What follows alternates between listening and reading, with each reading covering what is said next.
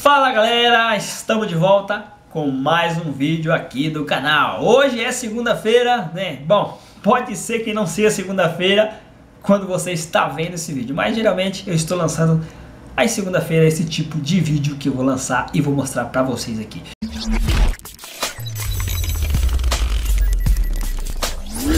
Eu já mostrei piso vinílico em lojas, em vários lugares. E também já mostrei piso vinílico em vários cenários de televisão. Já mostrei no SBT, na Record, né? E obviamente que eu não ia deixar de mostrar piso vinílico na Globo. Isso mesmo. A Globo também colocou vinílico no cenário novo dela. Especificamente na Globo News. Então vou deixar para vocês verem aí o vídeo. A Globo News estreou aí um novo cenário aí para apresentar aí os, os programas deles de telejornais de piso vinílico. Então, confere o vídeo. Muito bom dia para você, são 6 horas em ponto. Eu sou José Roberto Burnier, estou falando ao vivo da redação da Globo News aqui em São Paulo. Aliás, novíssima redação que está sendo apresentada pela primeira vez a você, assinante da Globo News. Globo News em ponto que vai mostrar todas as últimas notícias. Vamos entrar ao vivo com informações sobre este assunto.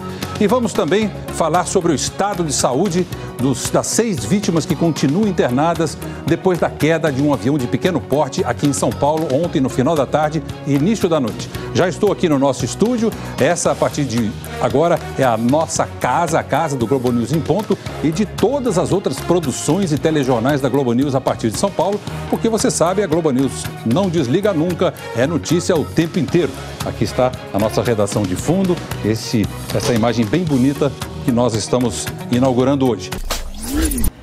Então, pessoal, como vocês podem ver aí, o piso vinílico ele está entrando em todos os lugares, né? Aí na cenário de televisão, cenário de filmes, novelas, lojas, casas. Então, o piso vinílico está tomando todo aí esses espaços. Por quê? Porque ele é um piso bonito, é um piso decorativo, um piso resistente, né? Um piso feito da maneira correta, fica a coisa mais linda, né? Então, se você quiser se tornar um, um colocador, porque o piso vinílico está crescendo de uma forma violenta no Brasil, e a mão de obra qualificada não está acompanhando esse crescimento. Está surgindo muita mão de obra sem qualificação, estão fazendo um serviço muito mal feito. Tem vídeos aqui no canal que eu já lancei, né? tem vídeo que eu vou lançar e mostrando para vocês aí o que acontece é se um, uma pessoa que não entende do processo passo a passo pode fazer, pode estragar o teu piso colocando ele no lugar não adequado. Então, por isso que eu lancei o treinamento online explicando passo a passo aí como colocar desde o zero. Você aprender desde o zero, se você não sabe nada,